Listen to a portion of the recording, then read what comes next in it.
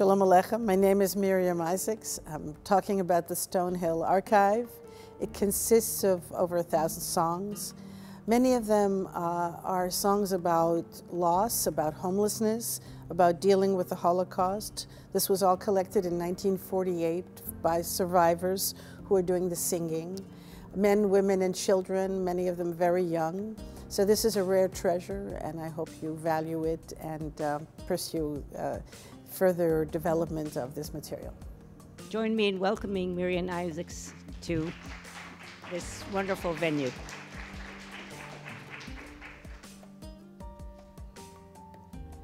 Thank you all for coming out, and it's wonderful. So many familiar faces and people I know. But most exciting to me, actually, is Ben Stonehill's granddaughter is here. She just introduced herself to me. There she is back here. And uh, this keeps, you know, this keeps happening. And we had a, a launch for a website for this collection in May in New York City, and both of his sons came. Uh, that's them over here, and that's the collector, Ben Stonehill.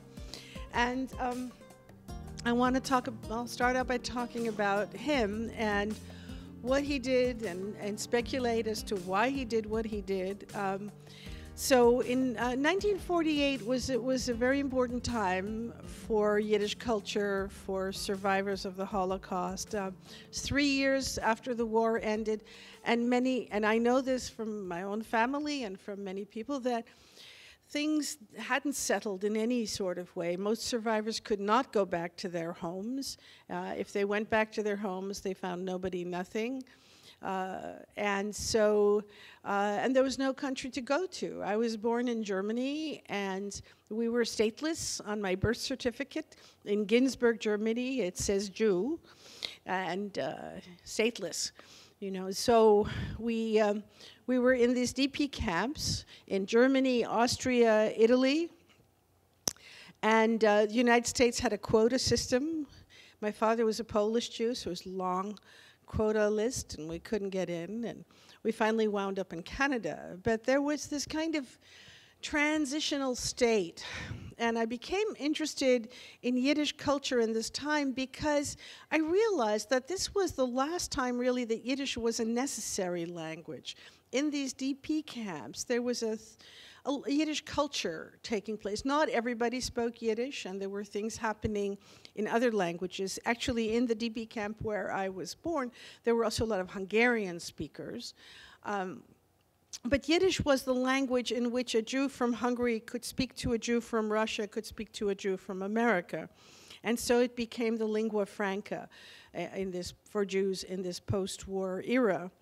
And um, Jews being Jews, they started publishing immediately. you know, they, they, did, they started um, trying their best to revive and maintain their culture. So there were lectures, there were concerts, there were all kinds of cultural activities because they realized that not only did their bodies have to be restored, but even more importantly, their spirits had to be restored. And it's only through um, dealing uh, through through creativity, through the arts, through reclaiming your cultural heritage that you could do that. So when I became aware of this body of song that had been archived, um, and I'll talk about the archiving process a little bit later, but it, it was collected in 48 in a hotel in, uh, on Broadway and 103rd Street. I've been to this hotel now several times and now houses immigrants still. It's mostly elderly people.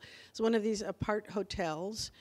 And um, uh, Ben Stonehill, who was the youngest of 10 children and born in Poland but had come to the United States as a young child, uh, but was a lover of Yiddish and a lover of Jewish culture, he undertook uh, pretty much on his own to uh, get hold of some recording equipment, wire reels, and he traveled from Sunnyside, Queens to Manhattan, schlepping this, this, this stuff.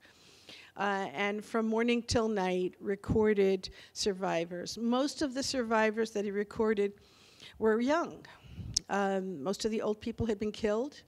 So you have people who are 18, 19. The youngest that I've heard him interview is a nine-year-old girl.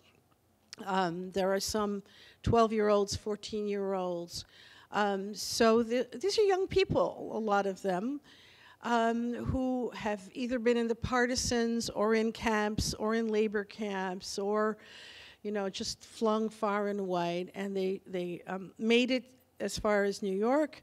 And it's the summer of 1948 for the most part. The state of Israel had only just been established.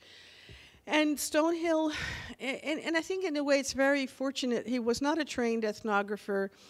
He, uh, he would ask them their names, and sometimes they would tell him. He would ask them where they were from, and sometimes they would tell him. Uh, but mostly these were people who were hanging around a hotel lobby and really forming a kind of temporary community with each other as they were looking for places to live, relatives to take them in, jobs, careers, a future. They were not yet, these were, this was temporary housing. This was not permanent state for them. Some of them were only days off their ships, um, uh, wherever they came from. And so he, he recorded them on wire reels, and I, I brought some samples of the songs, but there are oh, 1,057 songs, and I would say 95% of them are in Yiddish. There are a few in Polish and Russian and German, and the songs themselves tell a story. Um, when people do Holocaust studies, they're very fond of facts. You know, how many were killed here and what was there.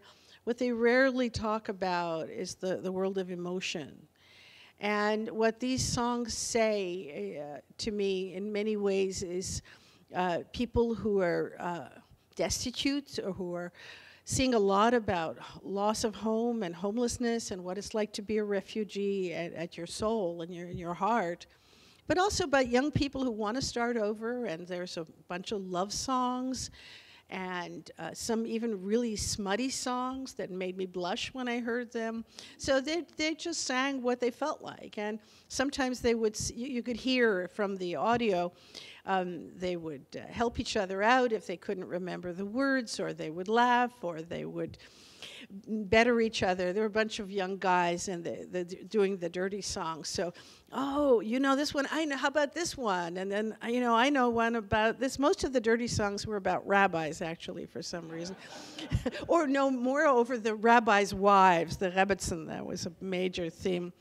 So, so Stonehill came with this recording equipment and he would go back and forth and recorded about 39 hours of sound. And he had hoped that this material would wind up in a university or he would write a book. He actually had planned initially a book, but he was a working person with a family responsibility, so he couldn't do the book. And in 48 and 49, no, nobody wanted it. The universities turned him down. So he kept it in his home in Sunnyside, Queens. And then in 1964, he came down with cancer. And he knew he was going to die. And he made another effort to uh, find a home for this material. And luckily, uh, by that time, there was a woman named Rae Korson at the Library of Congress. And she had begun to catalog this sort of music and she took the collection. And he insisted that he oversee the transfer from wire reel to tape and that it be done slowly and that it be done carefully. So he, he, he did that and he gave a lecture at YIVO, which is part of the archive. And then he passed away in, in 64 or 65, somewhere in there. Um, and it's been sitting in a, variety of places. Uh, the Holocaust Museum, I think, acquired it in around 1998, if I'm not mistaken. And Bret Werb, who's the uh, musicologist there, uh, recommended it to me. And um, I decided that being a native speaker of Yiddish uh, and growing up hearing different dialects of Yiddish, and because I'm a linguist, this was an important project to undertake. And so I, I was a fellow at the museum and worked with Bret to begin to develop this material. And then the question is, what do you do with it? There's songs of every kind. Um, and I'm an old folkie from way back. So I had a copy of Rise Up Singing on my table, and uh, that inspired me to sort the songs thematically by love song, by songs about labor in the camp, by lullabies. Um, so I began to do that. And then uh, about two years ago, um, I, I, through the Smithsonian, I became involved with people who are working with endangered languages.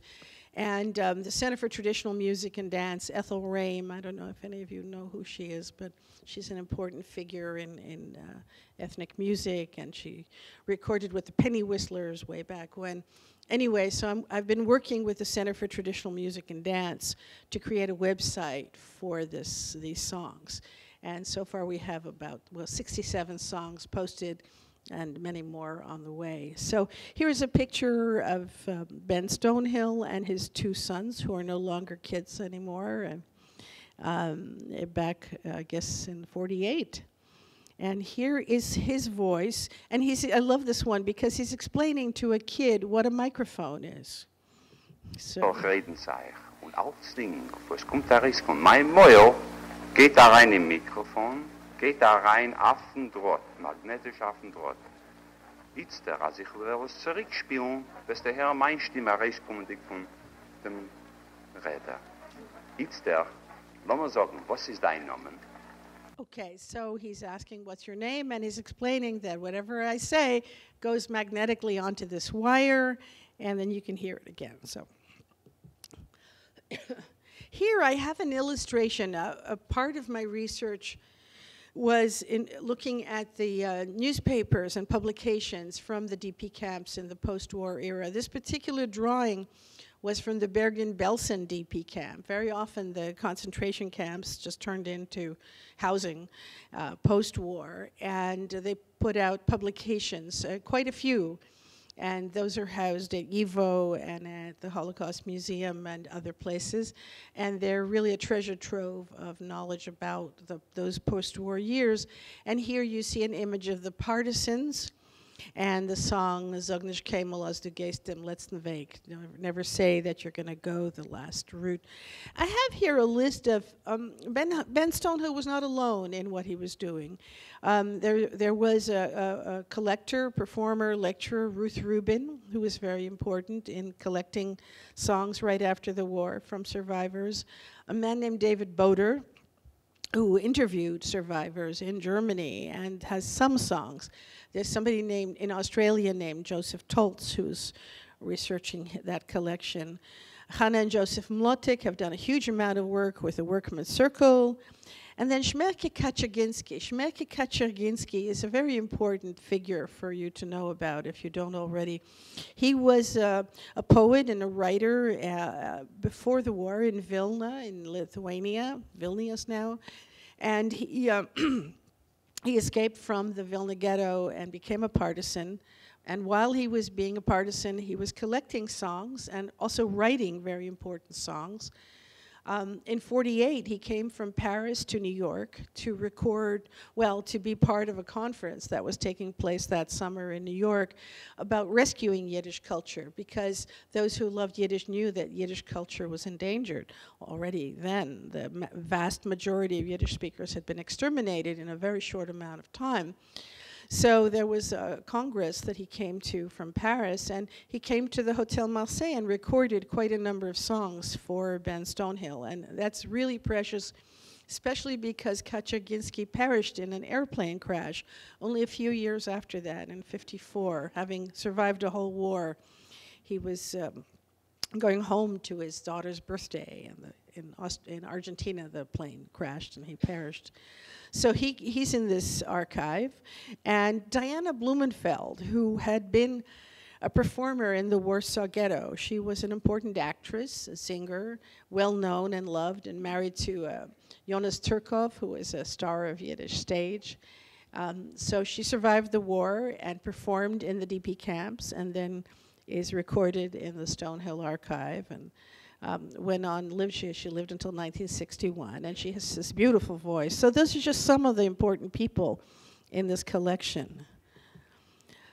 So here is a picture of Kaczerginski, and here is, the, there's two songs here. One is a, is an, is a, a, ballad about a hero named Botwin. And I had never heard of Botwin, but anybody who grew up in communist Poland would have heard, a Jew growing up in com- communist Poland would, would know about him. In Sweden, I gave this talk, and somebody in the audience got up and was so excited. We all learned that song about Botwin. He was important. Why was he important? He was a communist, a, a labor organizer in Poland in the 1920s.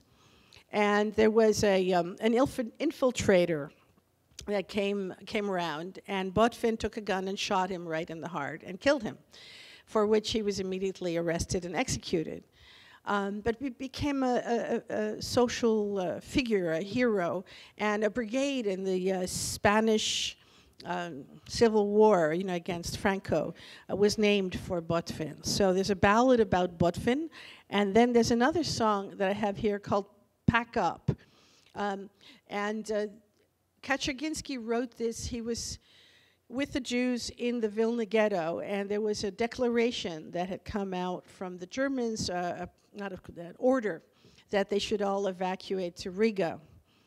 And the song is, it's, the refrain is pack up, pack up. And he says, we Jews were always being told to pack up. You know, today they're sending us, today we're locals, tomorrow they're sending us to Riga. But at that time, the Soviet army was getting close, and they were hoping that the Soviet army would come soon and get rid of the Germans. So he was, the last verse is a kind of assertion that the soon the Germans would have to pack up and go. And we'll say that to them, you pack up. So a bunch of the songs are very much about asserting uh, some measure of control over things or some hope or some aspiration. And a, lot, a bunch of the songs actually are about revenge. You know, we don't hear that much in Holocaust literature, but I'm not surprised to hear that in a lot of, in this year and in this time about, and one of the refrains that comes up again and again is we're going to drive them from Berlin to Budapest. I don't know why that scans well, but so here is a little bit of Botwin. I'm not going to sing the whole thing because there's many verses. Botwin is 18 Jahre alt geworden. He was 18. An Teilen nimmt er in die Kompartei. Took part in the Com. 20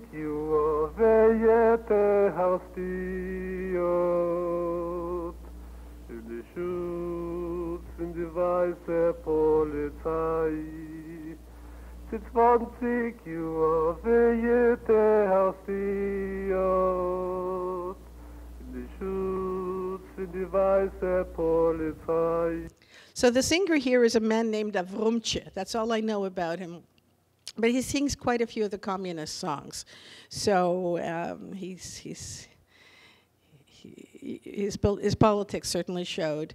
Here is Paksichain, and this is Kaczerginski himself singing this. And he learned it from Sender Weizmann. Das sind die geschrieben geworden, eine gefahrvoller Text war der Wilner Ghetto, wenn die Gestapo geben, schicken die verbliebenen Jeden von Wilne in die He's explaining that the Gestapo had just issued the order. August 1943 in 43, the Soviets were getting close, and they had hope that they would be freed soon. Pack sich ein, pack sich ein, wer kennt dem Refrain? Sie Lieder, was da jeden Lieder. Ein, ein, ein, ein. Es wird von dem gar nicht sein. Dort muss eine mir noch hige, morgen vor mir in Riege. Pack sich ein, pack sich ein, pack sich ein, pack sich ein. The end will be better. We're going to sing that song to them. Okay. That's Kaczerginski. This is another drawing from that Bergen-Belsen newspaper. I, uh, this artist, Naponsek, is just very evocative. And you see here survivors still in their um, striped prison outfits um, uh, holding each other up. Um, and so it speaks to the, the kind of the importance for survivors to be with each other. It was a kind of community wherever I lived. Uh, the, gr- the Grine, you know, the greenhorns would, would spend time with each other and uh, feel comfortable in each other's presence because they, they understood one another. A lot of them were really disappointed when they'd come to the United States or elsewhere and expect people to embrace them with open arms and found much, much less than that. Um, kind of, we don't want to hear about it, you know, learn English, move on with your life, you know, let's, don't depress us with this stuff and don't ask for money for, uh, from us and stuff. That was not uncommon. So to be in a community of other survivors was important. And also, uh, the newspapers and the songs formed a kind of memorialization in a way for the lost family members and lost communities that they had. We ha you had the Yizkor books, these remembrance books, and a lot of the DP publications sort of began the formative gathering of material for these various community books. So um, was a kind of subculture of the DP camp.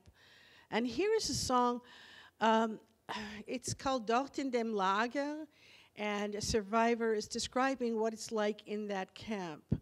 And he's standing there, and he's, he's, he's in forced labor, slave labor, and he's talking about how it feels, you know, and he's saying, what's the point? Every, every energy is wasted with this, uh, and here I am. And then the next refrain, he sees a girl with a shovel in her hand, um, and also for her, you know, is, is this energy being wasted? Um, and it's, it's in some corner at night that they're standing. Whoops. Did I mess up? Yes, I did. Whoops. Wait a second. I have to hit this thing, not that thing. Okay. Dat in, is te maken? Ja. Zo is er. Ja. Dort in Lager in winkel bij nacht. Zo, in Lagerbar, in haar winkelen. In haar. There in the camp in the corner at night. Dus ook mijn eigen combinatie. He wrote it himself, he doesn't know where the melody came from. Ah, hoor. dort in dem Lager, in a winkele Beinach, steigt sich a Idela, far zinken vertracht, in tracht wegen Tachles, in klärt sich a Zoizi, a schut jede Arbeit, a schut jeder Mir. In Father in heaven, lang wird es noch dauern? how long will this last? Alle Mittel muss sein probieren. I've tried all means, hab schon mehr kein and I have no more strength. Jetzt bleib ich allein du. Here I'm In alone, Tracht wegen mein glücklicher Schuh. and think about my happy hour, I guess, of freedom, Dort Father. in dem Lager, in demselben Land. In the same country in a camp, Steigt sich a junge Frau mit der Schaufel in die Hand, young woman with a shovel in in her hand. Wegen Tachles, en klärt sich a sie, a schut jede Arbeit, a schut jeder mir. Taten nur in Himmel, wie lang wird es noch dauern? Alle Mittel sein probiert, ich hab sie mehr kein. Jetzt bleib ich allein du, Now I'm alone in here. Tracht wegen mein glücklicher Schuh. Taten er nu, dort in dem Lager, in demselben Land. And a third verse in that same country, there's a little boy gefroren von Kälte, frozen in the cold. He's thinking about what's the use? Mit allem reserkiert, wie hat man meine Taten, And he wonders, where did they take his father and mother away to? How great is my Wie pain? groß ist mein Hinger? How great my hunger? And he doesn't remember the next line. bleib ich allein I'm alone here. in Tracht wegen mein glücklicher Schuh. Taten nu. One of the things that I find so moving about this collection is that these are not professional singers. They're ordinary people. And it's important to understand that singing is integral to, to, to Yiddish culture. it wasn't something that a few people did to perform, but it was something that everybody did all the time.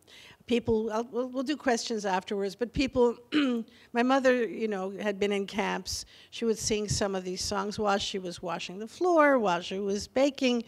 Um, people would sing uh, lullabies to children. They would sing love songs when they were getting flirtatious.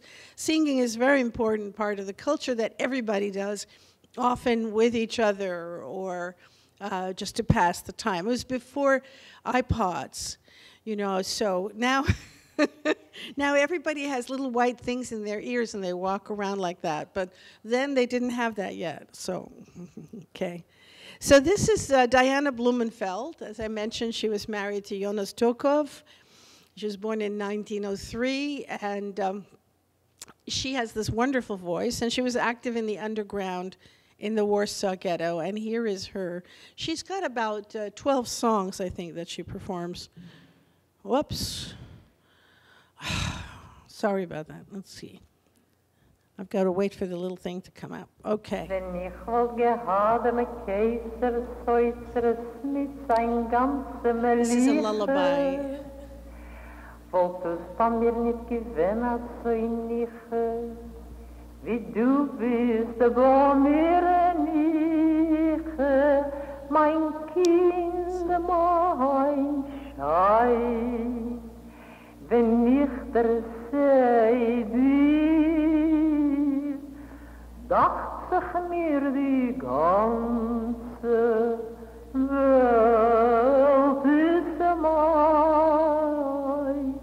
Schlaf, mein Kind, Schlaf, meine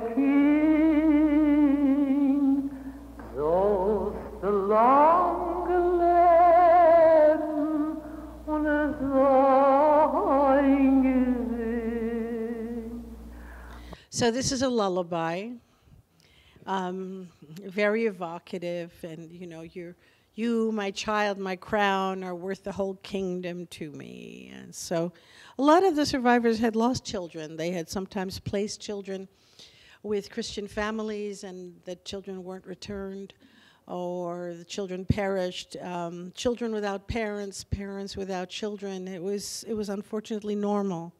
And um, so, uh, what was happening after the war was the highest birth rate in the world in these DP camps. You know, um, people were starting new families. They needed families. They needed to connect. And they also needed revenge against Hitler. So a lot of these children, Hitler had wanted to destroy Jewish people, so they were going to do um, do one on uh, Hitler and have as many children as they possibly could. So I am a product of that urge, apparently.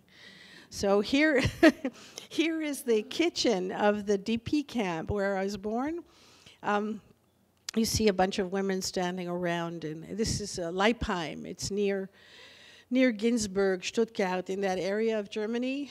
Um, it, it was under American administration. UNRRA was was administering the camps, and they had um, military, uh, you know, the American military. My father had been in the Soviet army, and he came back to um, his family in Poland, and everybody was gone.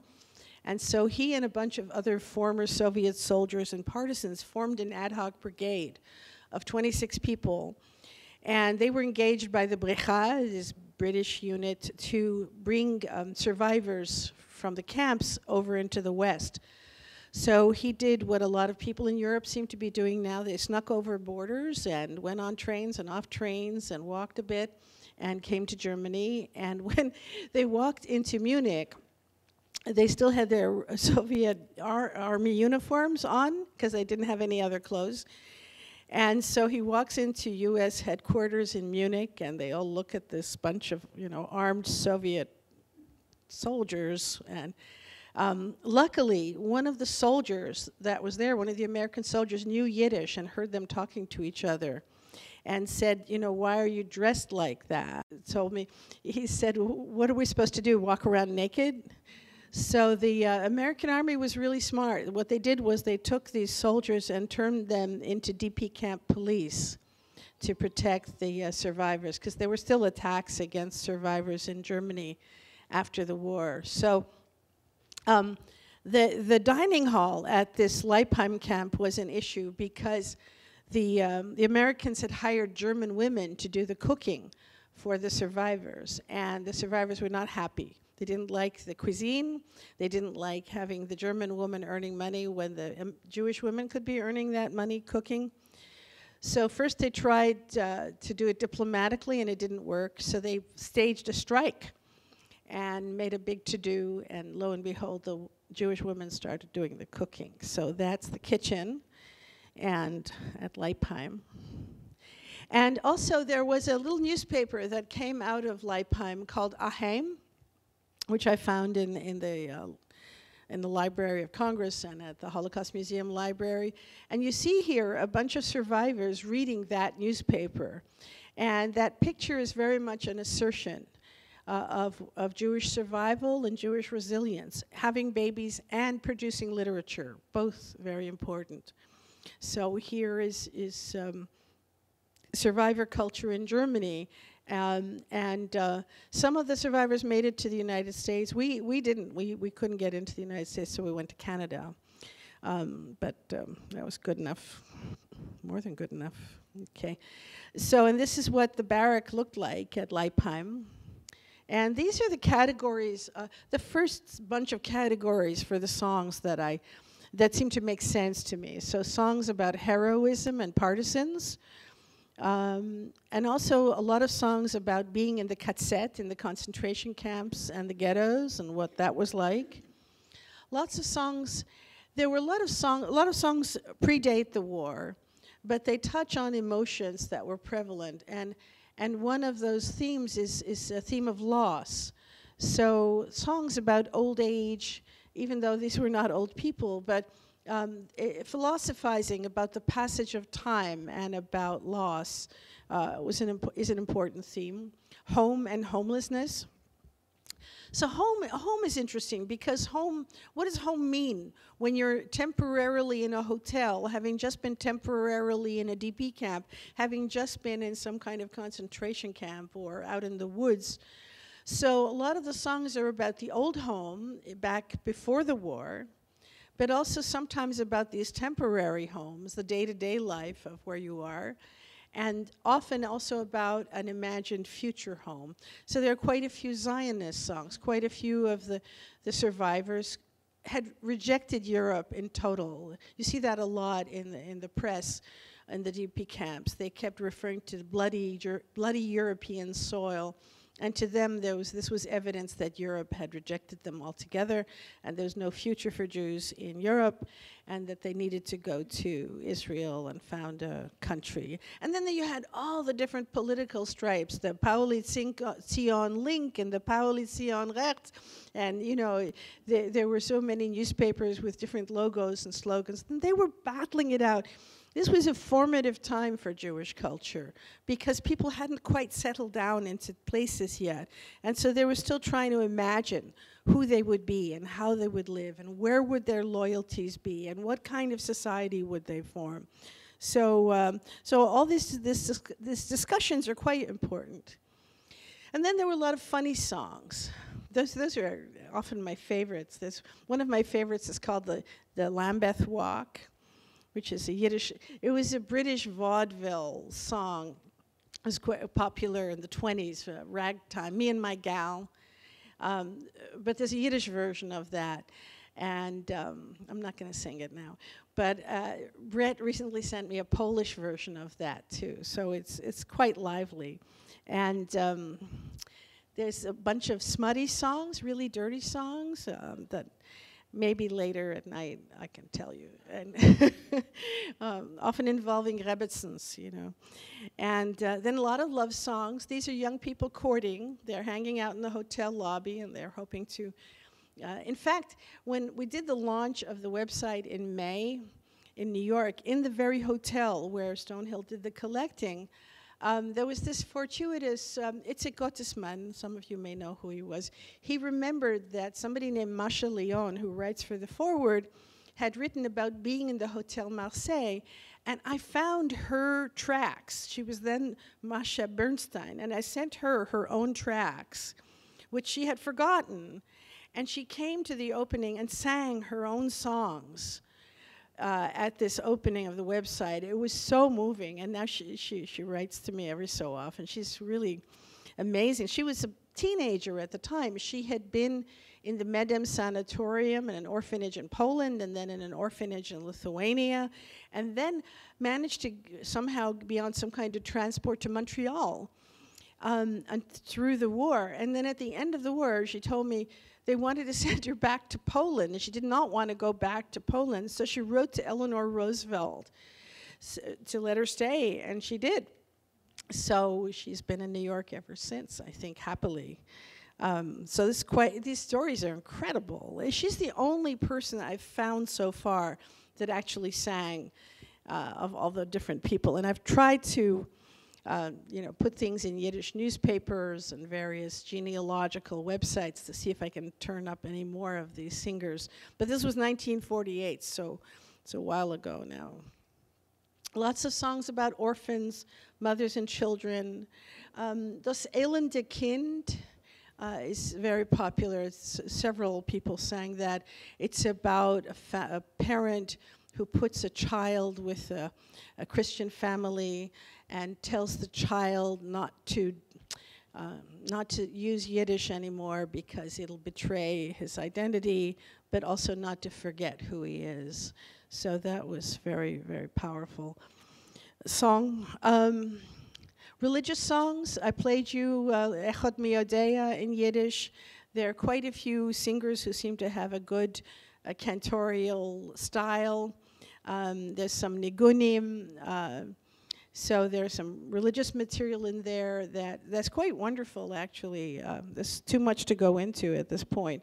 Um, a lot of political songs, critical of UNRRA sometimes. UNRRA didn't always do their job so well. Relief agencies. There was a, a thriving black market going on in post-war Europe. Things were not as orderly as they should have been. So some of the songs deal with that.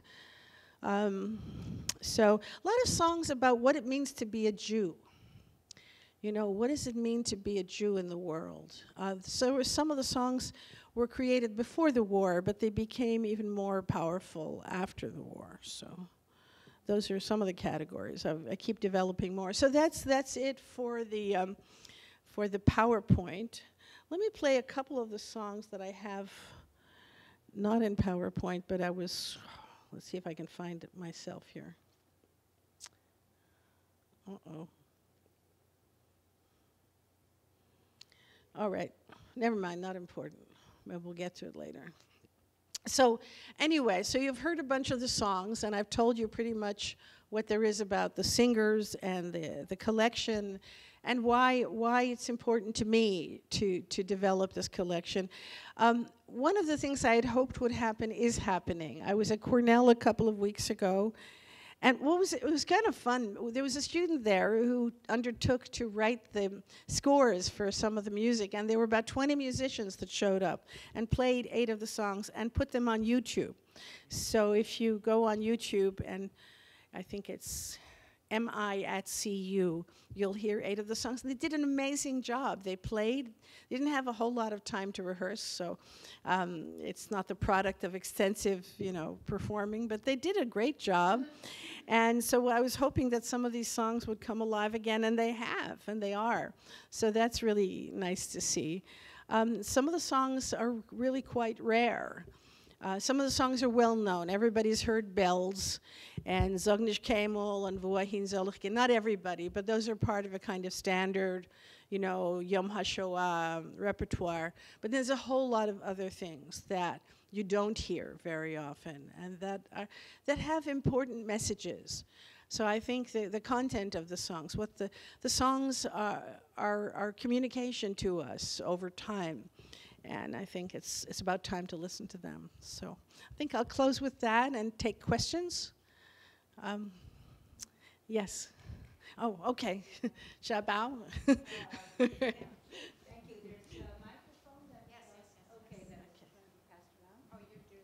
see okay. I've been looking for a Heim, and Uh-huh. um, Oh, yes. and I I am not wasn't able to read the YIVO print. I went down to the library, and I noticed here that it was in in Yiddish, meaning in Hebrew letters. Yes. And I was and I saw it in you know in, in Roman letters. Very good. Thank you for mentioning that. So, what happened was all but one of the printing presses that could produce Hebrew print were destroyed during the war for whatever purposes. So, um, uh, what, what a lot of these early publications uh, what they would do calligraphy. They would uh, produce, you know, just by hand on hectograph machines, write in or create Hebrew fonts. But most of the survivors, many of the survivors, could no longer read Hebrew alphabet because they had been kids or teenagers and didn't have a chance to have a Jewish education. So they, they wanted to get to as many people as they could and maximize communication. So they used the, um, the kind of Polish, Eastern European system of transcription because uh, one of the major purposes of these publications was to find lost relatives. You know, if you look through these publications, you'll see so and so looking for so and so last seen so and so. So you want it, you want that information to get through to as many people as possible. So they wrote in the masthead, but everything else is in Latin letters. And they had really fun. They had a, a humor column. Yes. I actually found a picture of my father as I was going through the the, uh, the newspaper on the microfilm. Um, he, some, they were trying to uh, form some kind of a hospital for the survivors, and they were also interested in getting people healthy again. So there was sports things formed.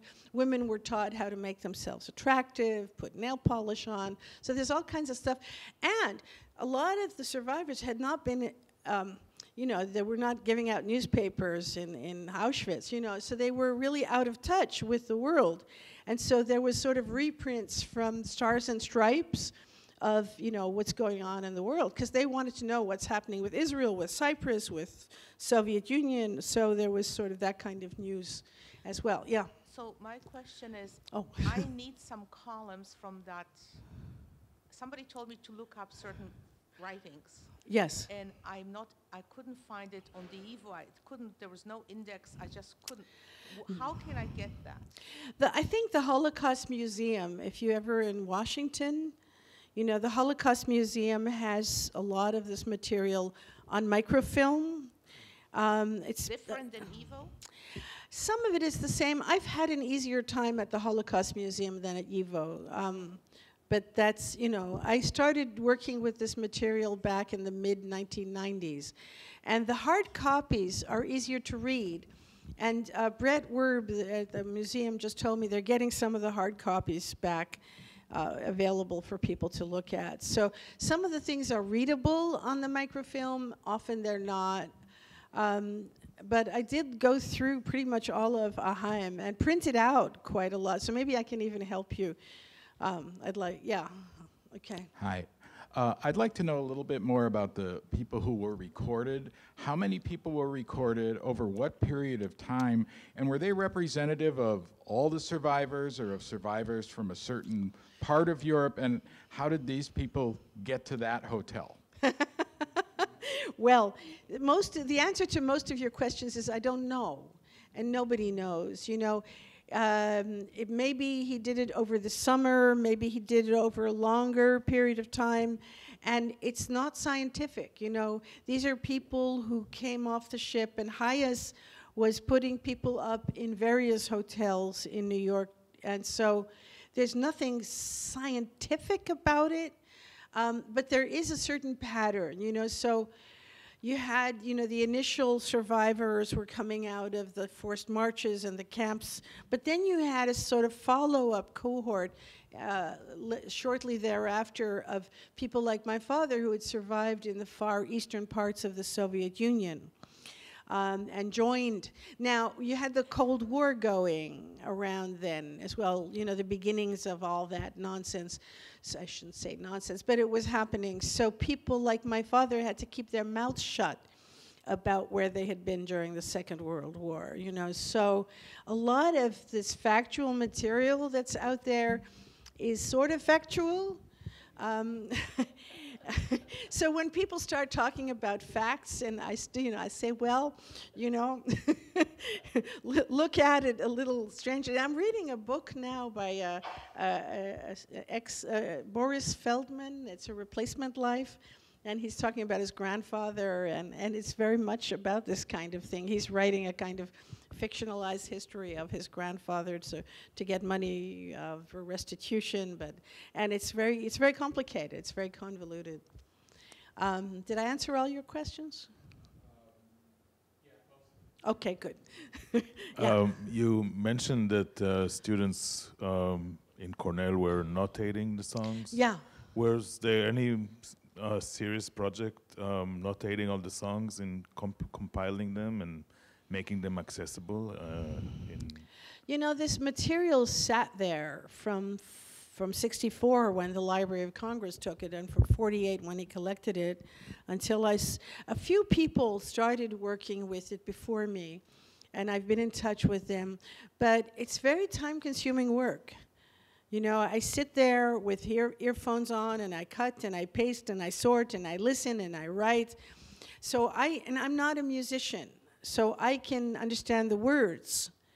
Um, but the musical part belongs to somebody else. Now, Bret knows the music better, and Joseph Toltz from Australia knows the musical part better. So they're, uh, they're starting to work with me on that end of things, but I don't even dare go there because I don't know a, a, treble clef from a bass clef from uh, yeah. are there recordings available for whoever You mean of the songs? of the songs? On, online. Just go into the uh, Center for Traditional Music and Dance website. Uh, it was my goal to get the music out there for people, you know, and um, so there's no CD or anything like that, but you can get it o- like everything else now online. Just go Center for CMTD.org and then Stonehill, and you, you can hear them. Not only 67 songs so far, but there'll be more. Uh, Miriam, in this uh, very interesting uh, presentation, you mentioned twice uh, songs about, uh, and this is, you know, the lighter aspect of things, uh, songs about a rabbi's wife. Uh, Yes. I do know at least one commercially recorded song of the 20s. Oh, is Or the is the Rebbetzin, Rebbetzin, yeah. As a Eurof mir. As That's, I of yeah, yeah. That's in there, yeah, yeah. But some are some are Uh, worse than that.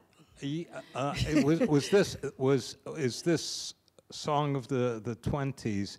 Does it reflect a kind of topos, a kind of theme uh, that was going around, or did it generate uh, such? So, probably probably it was just a common theme. I even- think it was a common 20s, theme. Yeah. I think, you know, these songs travel, and there were all kinds of performers. Leivik, hey, Leivik came to the camps with Emma Schaver after the war and wrote a whole book about Zwischen die Scheres Pleitzim, and they were giving performing cons.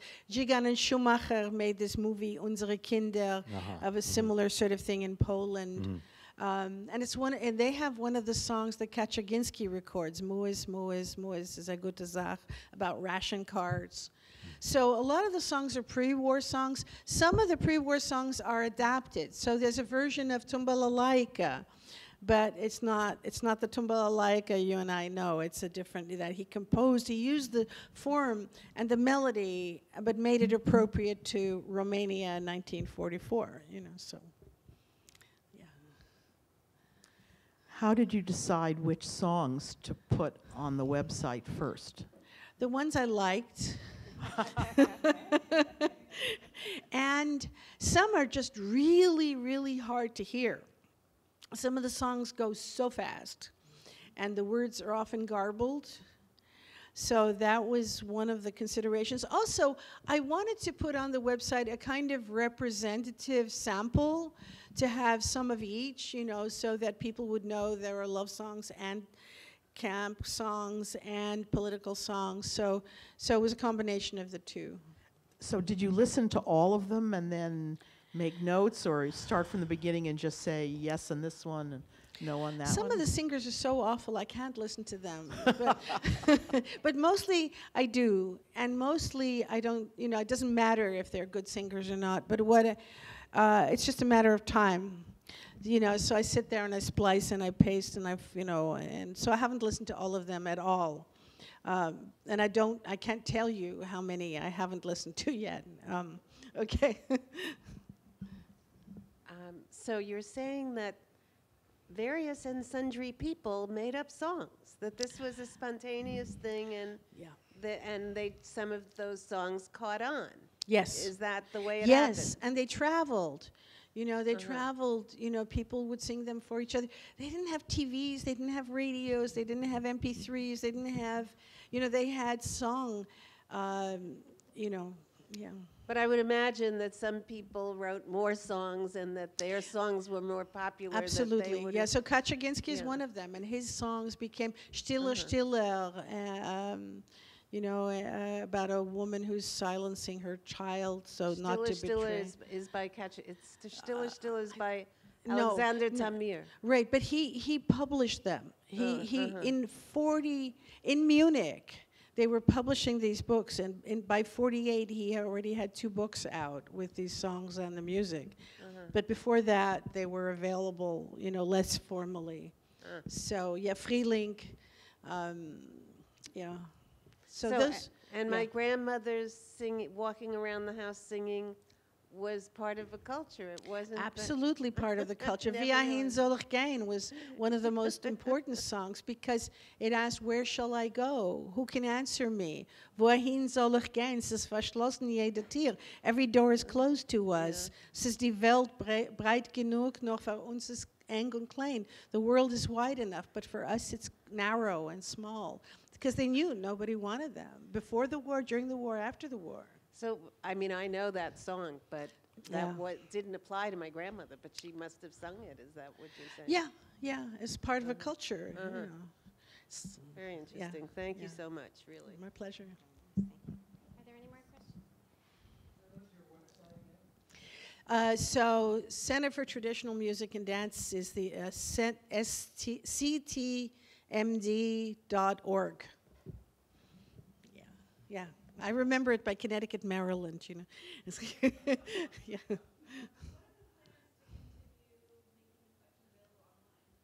Well, uh, Pete Rushefsky is the person in charge of, and he's a busy man. He's right now organizing a big Yiddish festival in December for continuing Klez Camp in New York City. So he doesn't have a whole lot of spare time to upload songs. I've delivered to him a couple of sets of MP3s by Kaczerginski and another by Blumenfeld, and hopefully in the next couple of months those should be available. And so um, if people want to help me and, and it becomes a, um, what's the word that they use? Um, crowdsourcing thing, yes, uh, that would be great. Um, uh, but uh, right now, I just do as much as I, I feel like.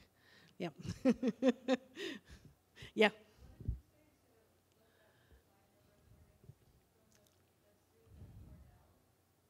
Oh yeah, it's um, if you go in YouTube, it's MI with my initials at CU, and my whole lecture is going to be uh, uh, put up. Yes, and also I gave a lecture at the Library of Congress in 2013. That's also available on YouTube.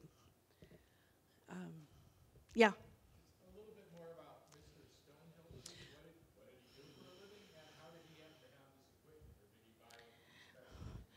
Oh, it's an amazing story. So he was he was living in Rochester. He grew up in Rochester, and immigrant family. And when he became a young man, some of his friends were going off to Cornell University. Correct me if I've got the family story wrong, but some of his friends went off to Cornell.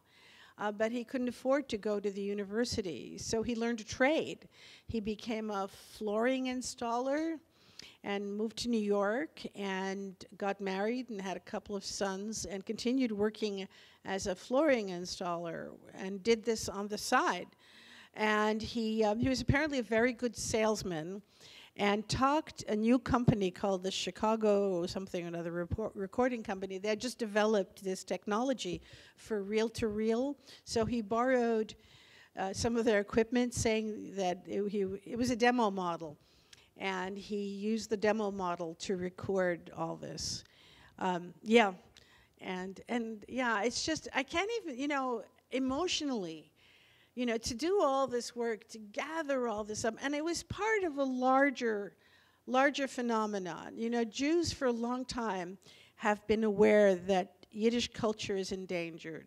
Ansky uh, did this whole recording, in, you know, uh, much earlier on wire reels.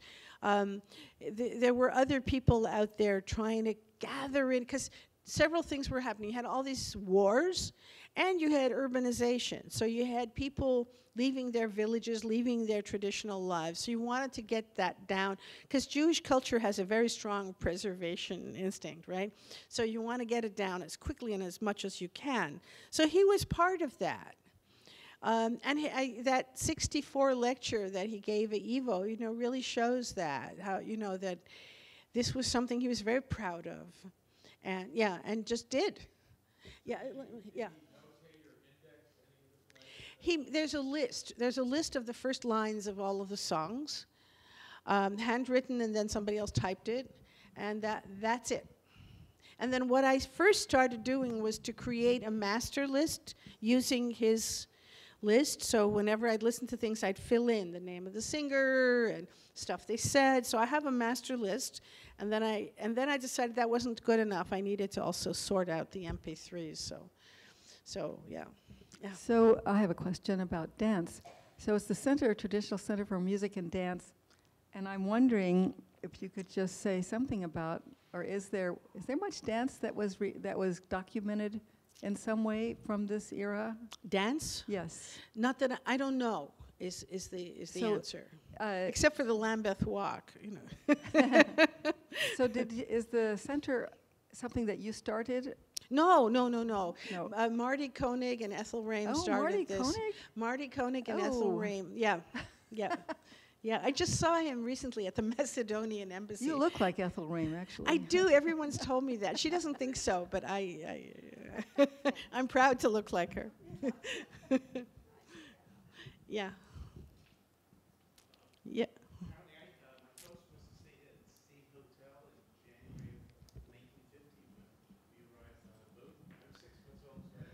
At the Hotel Marseille?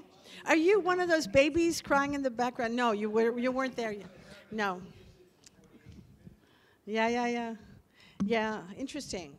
Yeah. There you hear babies in the background, you hear cars honking. I mean, it's very much a living thing, you know. Yeah. I have an answer to the dance question that you had. Uh, there is very, very little of dance that's available. Uh, the best that people seem to have been able to do is to go to, to the movies from the late 30s and occasionally to weddings in the, in the States and then subsequent to this period and watch how people danced. And in And that's 1985, the best they can do. In 1985, Bronya Sokolovna uh, taught a quadrille somewhere in New York, and she she was from somewhere in the former Soviet Union. And Center for Traditional Music and Dance, I think, has that. And I'm in it. I was actually dancing in with Zev Feldman in '85, and, and in that thing. yeah. But I think it was. I don't. know, Never mind. I won't go into it. Yeah. All right. Uh, any more questions? All right. Well, thank you all for coming out. And, and it's, it's really fun to be here in California. I'm enjoying it a lot. It's a crazy place, but fun. Yeah. Thank you.